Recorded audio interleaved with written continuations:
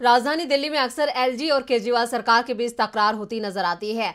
अब ये विवाद और बढ़ने वाला है और इसकी वजह वो नोटिस है जो राज्य सरकार को मिला है। जी हाँ उपराज्यपाल के आदेश के बाद मुख्यमंत्री अरविंद केजरीवाल को एक करोड़ रुपए का रिकवरी नोटिस भेजा गया है। तो क्यों सीएम को मिला है नोटिस और क्या है पूरा मामला? देखते हैं इस रिपोर्ट में। दिल्ली की केजरीवाल सरकार के दिन इस वक्त अच्छे नहीं चल रहे हैं। कभी शराब घोटाले को लेकर सरकार के मंत्री जेल जाते हैं तो कभी विज्ञापन मामले को लेकर नोटिस थमाया जाता है।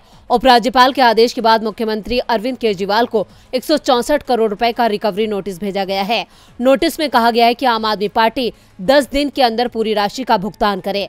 दावा किया जा रहा है कि अगर आप संयोजक अरविंद केजरीवाल तय समय में राशि का भुगतान करने में नाकाम रहते हैं तो एलजी के पिछले आदेश के अनुसार कानूनी कार्रवाई की जाएगी। इसके तहत पार्टी की संपत्तियाँ भी कुर्क की जा सकती हैं।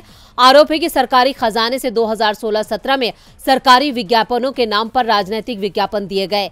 इसे लेकर एलजी वी के सक्सेना ने मुख्य सचिव को सरकारी विज्ञापनों की आड़ में प्रकाशित राजनीतिक विज्ञापनों के लिए आपसे सत्तानवे करोड़ वसूलने का निर्देश दिया था, लेकिन उसका भुगतान नहीं किया गया। इस पर जुर्माने के तौर पर चौसठ करोड़ इकतीस लाख रुपए का ब्याज लगाया गया। जिसके बाद कुल रकम एक करोड़ बासठ लाख रुपए होती है। अब सीएम केजरीवाल को इस राशि का भुगतान करने का निर्देश दिया गया है। वही नोटिस को लेकर आप भड़क उठी है। आम आदमी पार्टी ने आरोप लगाया कि एलजी सक्सेना ने बीजेपी के इशारे पर यह आदेश दिया है, क्योंकि इस तरह का आदेश देना उसके अधिकार क्षेत्र में नहीं है।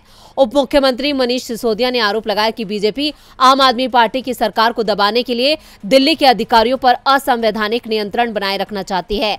अब भले ही आप इस मामले में सफ़ाई दे रही है, लेकिन देखना होगा क्या वो नोटिस पर भुगतान करती है या नहीं। डीबी लाइफ की रिपोर्ट।